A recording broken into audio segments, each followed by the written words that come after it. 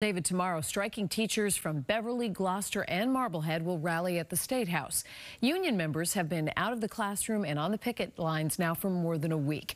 And as WBZ's Brandon Truitt tells us, making up the days they're missing now could cause problems later for students and their families. Each of these communities report some progress today, but there's little to show for more than a week of missed classes. And for some parents, the novelty is wearing off. The first thing is I have to go to work. Yeah. So now I stay home the whole week to watching my son. A new week brings similar challenges. Thousands of families in three North Shore communities are once again making plans for another day of canceled classes. At the beginning, it was like kind of like, you know, how long is this going to last? But now that it, it, it keeps going, it's kind of a run its course. I'm hoping it ends soon. Tuesday will mark day seven of no school in Beverly.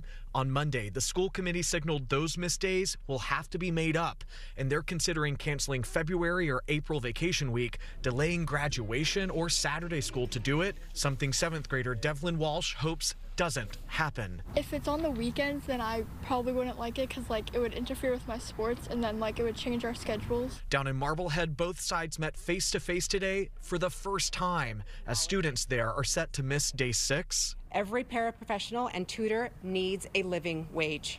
The Gloucester School Committee reported significant progress Monday, but not enough to close a deal. Each union is taking on tens of thousands of dollars in daily fines with no end in sight. We need our kids to go back to school yeah. soon, as soon as possible. They can't stay home. Salaries remain a sticking point in these negotiations. Teachers from all of these communities will gather together to rally at the State House on Tuesday. In Beverly, Brandon Truitt WBZ News.